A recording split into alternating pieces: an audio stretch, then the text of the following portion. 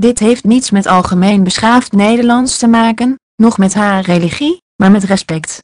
Dit gaat om een jonge vrouw die verbrand is, haar laatste minuten in intense pijn door heeft moeten brengen en uiteindelijk gestorven is. Daar dien je geen grapjes over te maken, nog mee te spotten. Een afgaantje dat verbrand is,